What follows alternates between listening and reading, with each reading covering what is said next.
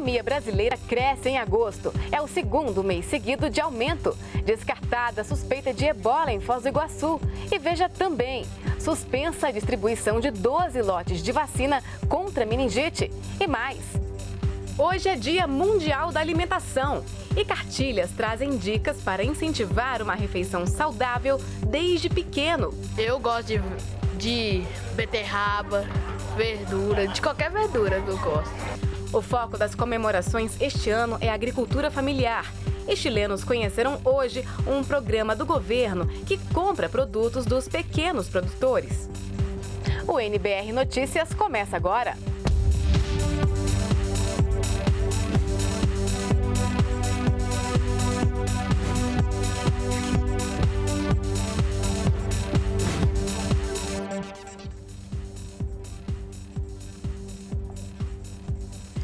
Olá, boa noite. A economia brasileira cresceu 0,27% no mês de agosto. Foi a segunda alta consecutiva mensal. É o que aponta um índice calculado pelo Banco Central e que é considerado uma prévia do PIB, o Produto Interno Bruto. O índice de atividade econômica do Banco Central registrou no mês de agosto uma variação positiva de 0,27%. Já no acumulado em 12 meses, de agosto de 2013 a agosto de 2014, aponta alta de 0,93%. O índice criado pelo Banco Central incorpora estimativas da agropecuária, da indústria e do setor de serviços, além de impostos. Funciona também como uma prévia da atividade econômica, que serve para antecipar o PIB, o Produto Interno Bruto, que é o conjunto de bens e serviços produzidos pelo país e é utilizado para medir a produção da economia em determinado período. O resultado oficial do Produto Interno Bruto no Brasil é calculado pelo Instituto Brasileiro de Geografia e Estatística. Diferentemente do Banco Central, que faz levantamentos mensais, o IBGE divulga o seu levantamento a cada três meses. Foi descartada pelo Ministério da Saúde a possibilidade de ebola em Foz do Iguaçu, no Paraná. Ao vivo, o repórter Paulo La tem mais informações. Boa noite, Paulo. Boa noite, Aline. Esse paciente procurou unidade de pronto atendimento em Foz do Iguaçu nesta madrugada, na madrugada desta quinta-feira, dizendo que estava com febre, náuseas, pele e olhos amarelados, que são sintomas do ebola. E a doença só foi descartada depois dos procedimentos das autoridades sanitárias do Paraná, que foram acompanhados pelo Ministério da Saúde. Este homem é brasileiro de origem libanesa, tem 22 anos e recentemente fez uma viagem para o exterior, mas não passou pelos países mais infectados pela doença na África Ocidental, que são Serra Leoa, Guiné e Libéria. A organização Organização Mundial da Saúde estima que nestes países, nesta região da África, o vírus ebola já matou mais de 4 mil pessoas neste ano. Aqui no Brasil, nesta semana, dois exames descartaram num paciente da Guiné que procurou também uma unidade de pronto atendimento em Cascavel, no Paraná, a possibilidade de ter ebola. É bom lembrar que o Brasil segue um procedimento, um protocolo internacional para casos de infecção pelo vírus ebola. Este protocolo internacional da Organização Mundial da Saúde estabelece, entre outras coisas, que um paciente supostamente infectado pelo ebola deve ser isolado e as pessoas que mantiverem contato com este paciente paciente devem ser monitoradas. Voltamos com você no estúdio, Aline. Tá ok, Paulo La Sávia. Muito obrigada pelas suas informações ao vivo. Está proibida a distribuição, comercialização e uso de 12 lotes da vacina Meningentec. De acordo com a Agência Nacional de Vigilância Sanitária, Anvisa, a empresa fabricante do produto comunicou o recolhimento voluntário dos lotes depois de constatar a existência de partículas de óxido de ferro no interior das seringas. A empresa também fez avaliação sobre o risco à saúde dos pacientes e informou que é considerado baixo. Mais informações no site da Anvisa. Concentrar em um só local os serviços de atendimento à mulher em situação de violência. Esse é o objetivo da Casa da Mulher Brasileira.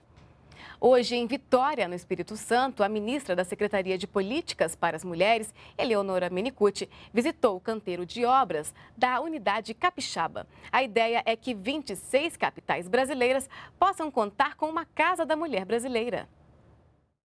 Um espaço para favorecer a aplicação da Lei Maria da Penha, com estrutura para atendimento integral à mulher. A ideia é que cada casa da mulher brasileira reúna vários serviços, como delegacias especializadas, juizados, promotorias e defensores públicos. Também vão ser oferecidos acolhimento e atendimento psicológico. As mulheres também serão encaminhadas para serviços de saúde quando for o caso. Três casas já estão sendo construídas em Brasília, Campo Grande e Vitória. Com uma área de quase 4 mil metros quadrados, a Casa da Capital de Mato Grosso do Sul deve ser a primeira a ser inaugurada. Aqui no Distrito Federal, as paredes já foram erguidas e agora o próximo passo é montar a estrutura dos telhados da Casa da Mulher Brasileira. Aproximadamente 60% das obras já foram concluídas. O custo médio de cada casa é de cerca de 4 milhões de reais. A previsão é que cada casa tenha capacidade para atender cerca de 200 pessoas por dia. Em entrevista pela internet, a ministra-chefe da Secretaria de Políticas para as Mulheres falou sobre a iniciativa. São 26 casas em 26 capitais do Brasil, onde todos os serviços de atendimento e enfrentamento, prevenção e apoio as mulheres em situação de violência doméstica serão entregues para a população. As próximas casas da mulher brasileira que vão ser construídas são em São Paulo, capital, e Salvador. São Luís, Fortaleza e Curitiba já têm contratos assinados e as obras nessas cidades vão começar em breve. Mais de 20 milhões de reais vão financiar 210 bolsas de mestrado e doutorado em projetos voltados para melhorar a qualidade de vida de pessoas com deficiência. As instituições de ensino superior públicas e privadas sem fins lucrativos interessadas em participar da seleção devem enviar as propostas até 6 de novembro. Mais informações no site do Ministério da Ciência, Tecnologia e Inovação. Hoje é o Dia Mundial da Alimentação. Aqui em Brasília, num restaurante popular, nutricionistas ensinam crianças e adultos sobre como ter uma alimentação mais saudável para garantir saúde.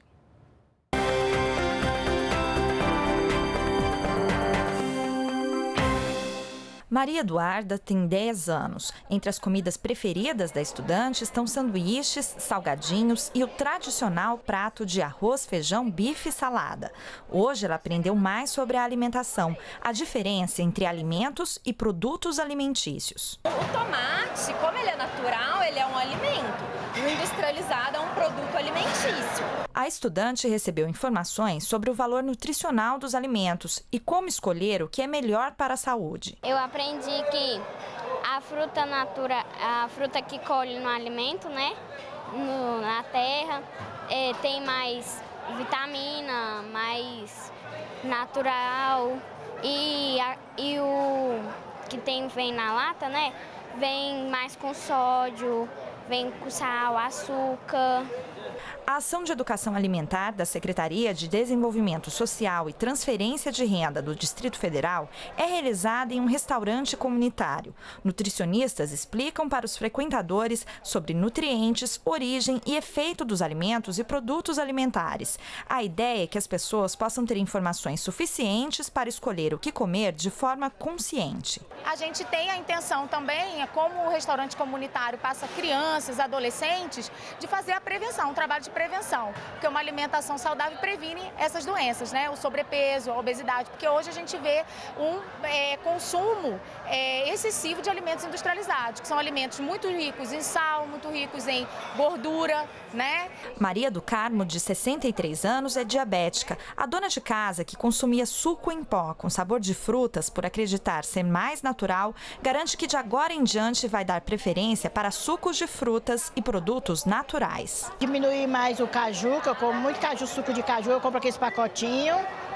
E coalhada é bom, né? Que ela falou. Manteiga eu vou diminuir, que eu como muita manteiga. Essas coisas assim que ela explicou deu para mim entender que eu estou passando da medida.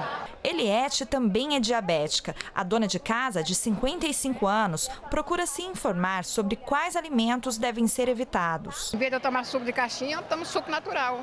Lá em casa é assim, eu compro as verduras, as frutas e faço o suco natural mesmo.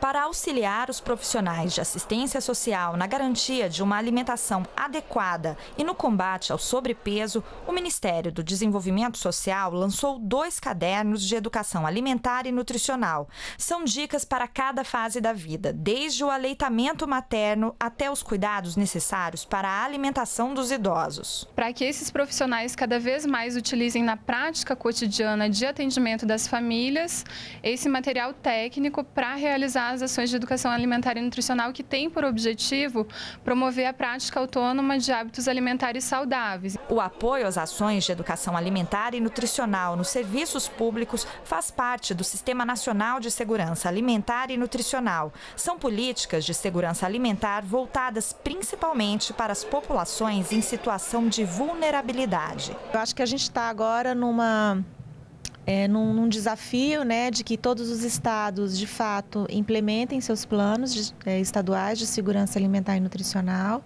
porque são planos estratégicos de governo, porque mostra uma, o esforço que o Estado tem para, de fato, garantir o direito humano à alimentação adequada e uma certa e, e a necessidade de organização de, de de, de operacionalizar essas políticas de forma articulada, intersetorial. É, e também a gente é, chama os municípios, agora a gente está numa fase de chamar os municípios para adesão ao sistema.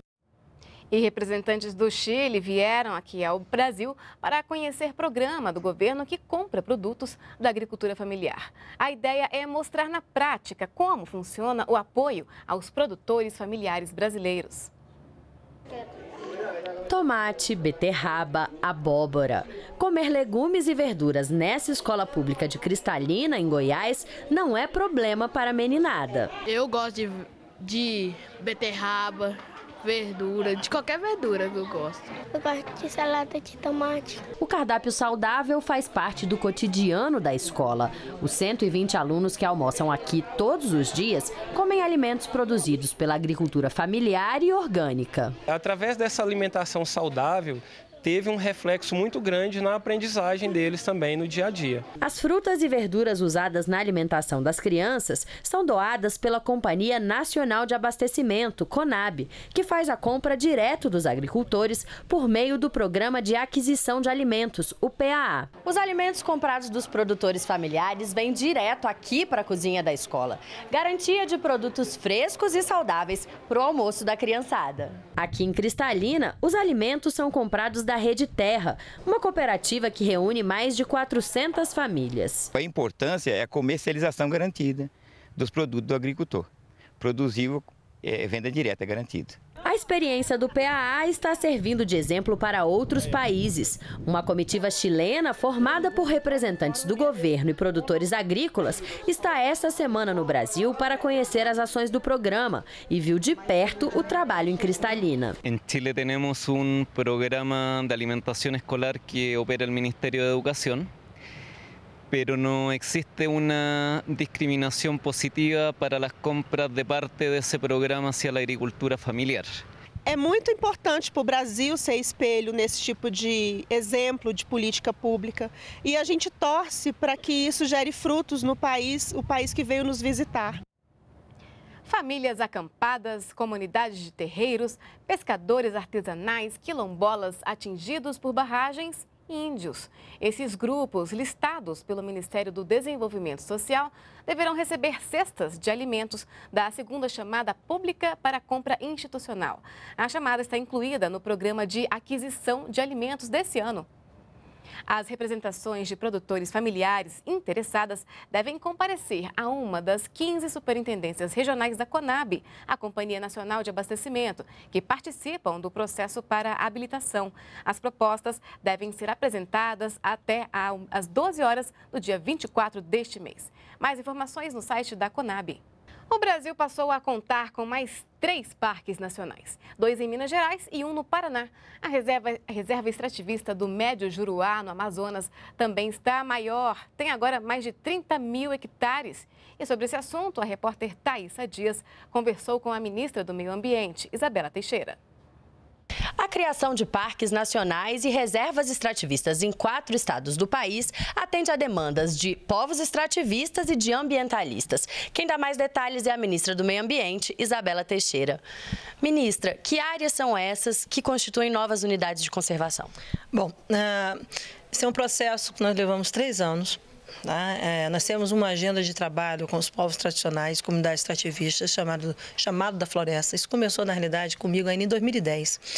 E acabou sendo estruturado ao longo desses anos, em que você elege as áreas de interesse de conservação da biodiversidade e de interesse de conservação de hábitos de cultura de povos tradicionais. Esse é o caso das reservas extrativistas e da Reserva de Desenvolvimento Sustentável que a gente criou em Minas Gerais.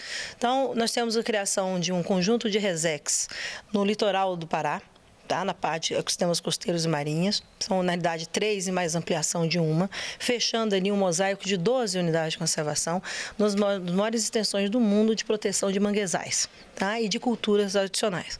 Fomos criar em Minas Gerais, essa rede dessas gerazeiras. É, criamos ainda ampliação, tivemos ampliação de uma resex do Médio Juruá, que era um pleito de muitos anos, de que foi criado essa reserva extrativista, mas não incluíram todas as áreas que as populações demandavam, incluímos agora mais de 260 mil hectares para atender a demanda dessas populações e proteger o meio ambiente. E fomos também para uma agenda importante. Então, unidade de uso sustentável, são as reservas e a EDS, e unidade de proteção integral, uma agenda importante de conservação e proteção na Mata Atlântica, pegando o Parque Nacional da Guaricana no Paraná, Tá? E também o famoso Parque Nacional das, da Gandarela, que pega ali no entorno de Belo Horizonte, que tem importante é, vegetação associada à questão de presença de, de ferro e também águas subterrâneas estratégicas para o abastecimento da cidade de Belo Horizonte. Então, é, com indicação também de conservação de espécies endêmicas, espécies ameaçadas de extinção. E de que maneira essas populações são beneficiadas com essas novas unidades, ministro? Bom, isso é muito importante porque reserva ativista e reservas de momento sustentável são tipologias de unidade de conservação que asseguram a proteção dos recursos naturais da biodiversidade associada aos processos culturais, os processos tradicionais que mantêm a identidade dessas populações. São todas populações tradicionais, são povos tradicionais que com seus é, é, requisitos culturais, étnicos, eles preservam a nossa cultura e o nosso a, a, preservam uma parte do que o povo brasileiro é.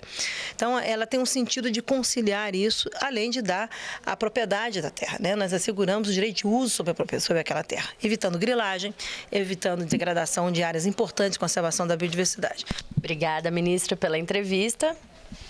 Voltamos ao estúdio. Vamos falar agora de hip hop. Até o dia 19, quem quiser pode fazer a inscrição para o prêmio do Ministério da Cultura. É o segundo prêmio Cultura Hip Hop. Serão selecionadas 170 iniciativas inéditas voltadas a divulgar, valorizar e estimular essa iniciativa. Podem ser inscritos projetos como shows, vídeos, arquivos audiovisuais, sites, revistas, palestras, oficinas, além de cursos livres. Mais informações sobre o segundo prêmio Cultura Hip Hop no site do Ministério da Cultura. E pesquisadores com projetos que contribuam para o desenvolvimento científico, tecnológico e de inovação só têm mais uma semana para se inscrever na chamada pública para financiamento de pesquisa. As inscrições vão até 23 de outubro. São 27 áreas de interesse, entre elas aeroespacial e defesa, biotecnologia, gastronomia e indústria naval. Mais informações no site que aparece aí na tela. A mudança de hábito para ajudar o meio ambiente e o descarte correto do lixo para diminuir o aquecimento. Esses exemplos estão na Semana Nacional de Ciência e Tecnologia. Veja na reportagem de Isabela Azevedo. Olhos atentos para as explicações dos vídeos. Essa turma participou da feira montada em Brasília para a Semana Nacional de Ciência e Tecnologia. Os filmes exibidos no estande do Ministério do Meio Ambiente mostram como o desmatamento e o descarte incorreto do lixo podem provocar o aquecimento do planeta. Não pode jogar lixo na rua, não pode, não pode desperdiçar água. Vou parar de botar carregador para ficar uma hora carregando e parar de gastar água. Quem passa pelo estande da Agência Nacional de Águas pode administrar recursos hídricos de uma região em um jogo virtual. O João Pedro, de 11 anos, aceitou o desafio. A gente aprende jogando, se divertindo. Isso é bacana demais. Eu acho que é a proposta mesmo da criança aprender brincando, que é o que eles fazem o tempo todo, no tablet, no computador, na internet. Enquanto as crianças aprendem formas mais básicas de preservar o meio ambiente, adolescentes e adultos são convidados a rever alguns comportamentos. Mudanças simples de hábitos geram impactos muito positivos ao meio ambiente.